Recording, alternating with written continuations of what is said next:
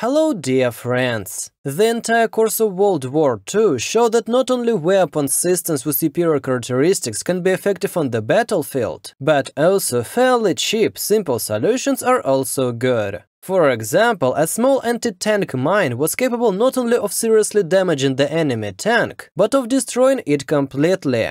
While a simple concrete pyramid could become an insurmountable obstacle for armored vehicles. Among simple yet effective barriers and weapons, the Soviet anti-tank Hedgehogs won particular fame during World War II. Very simple and easy to produce. They really helped the Red Army in the battles of 1941. The anti-tank Hedgehog is the simplest anti-tank barrier. It is made usually in the form of a three-dimensional six-pointed figure. Anti-tank hedgehogs were inferior in effectiveness to mine barriers, but they could be produced in very large quantities from improvised materials without using high technology, and were relatively easy to move from one section of the front to another, which in wartime was especially valuable. As early as the 12th day of Germany's invasion into Soviet Union, Soviet engineer General Mikhail Gorikker designed his version of the anti-tank Hedgehog, which made a huge impact in the history of the 20th century wars.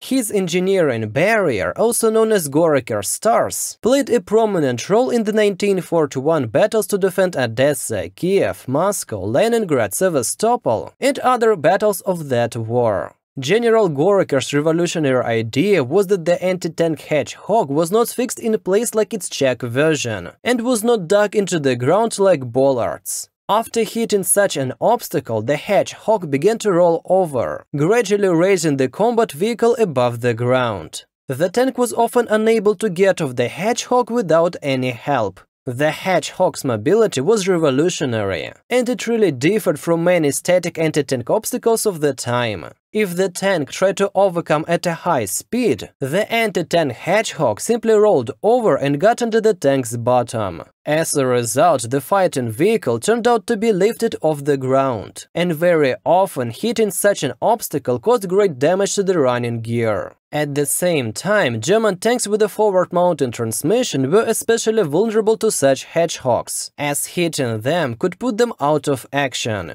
If defending troops were especially lucky, because of its own mass, a tank sitting on a hedgehog could pierce its bottom, which meant that it could not continue the further movement. The best material for making such anti-tank barriers was a steel I-beam profile, and the best way to connect the structural elements was to use riveted brackets. In practice, the hedgehogs were often made from whatever was available, various metal angles, channels or rails, which were often joined together by ordinary welding even without braces. When making hedgehogs in the field, there were often cases when the design was violated. A common mistake was to increase their size by half or even two times. Such a mistake can make the intended purpose of the hedgehog impossible. The main point of the anti-tank obstacle was that it had to be higher than the clearance of the tank, but lower or equal in height to the upper edge of the lower frontal armor plate. Only under these conditions could the obstacle roll over and not be moved by the tank. Certain numbers should be backed up by calculations and tests. The maximum height of the hedgehog should be 0.8 to 1 meter. The most rational arrangement of such barriers on the ground should be like this, four rows in staggered order. The simplicity of the design made it possible to provide the Red Army with a new anti-tank barrier in a short time during the hard year of 1941. And the weight of the construction made it easy to install and sufficiently mobile. As a result, it was recommended to place anti-tank hedgehogs in rows every 4 meters, and the distance between neighboring hedgehogs should be 1.5 meters for the front row and 2 to 2.5 meters for other rows. With such an arrangement, after passing the first row of hedgehogs, the tank couldn't continue going at the same speed and simply got stuck between the rows of hedgehogs. It could cause damage to the hull or internal parts, thus the tank could become an easy target for anti-tank weapons of the defending troops. After the tests, a recommendation was given to use it extensively in the fortified areas and in especially important sectors. The conclusion also contained approximate calculations, so the number of hedgehogs per kilometer was estimated at 1200 pieces. The average weight of the light version produced with the use of welding was 200 to 250 kg. It was especially emphasized that such a construction could be produced by any factory in large quantities. It was also noted that they could be transported to the place of action in ready-made form by road and railway transport. The defense line of anti-tank Hedgehogs set in four rows in staggered order became a very serious obstacle for enemy tanks. They either got stuck in them trying to overcome them, or became an easy target for artillery.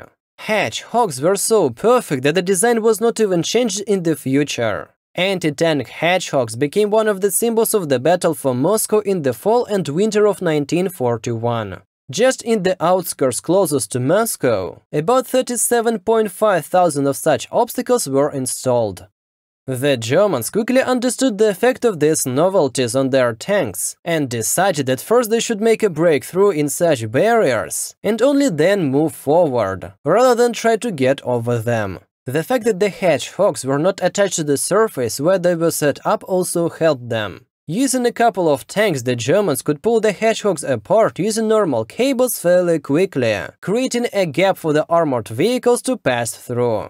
Red Army fighters countered this by placing anti-personnel mines near the anti-tank hedgehogs, and if possible by placing machine gun positions and anti-tank guns near the hedgehogs. Attempts to get rid of them by tying them to the tank could thus be severely punished by the defenders. Another method of making it difficult to get through such a barrier was tying the hedgehogs to each other or tying them to various objects on the ground. As a result, German sappers and tankers had to solve this problem with chains and ropes on the spot, often doing it under enemy fire.